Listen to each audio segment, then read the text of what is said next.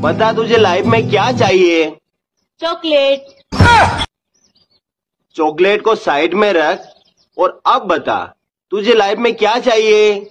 Side में रखी हुई चॉकलेट। हे भगवान आपका बहुत बहुत धन्यवाद जो आपने पति को नेचुरल रूप से सुंदर बनाया। बाकी दो दो लोगों का ब्यूटी पार्लर का खर्चा बहुत भारी पड़ जाता।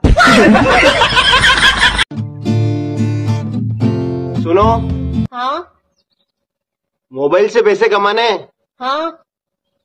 तो अपना मोबाइल बेच दो।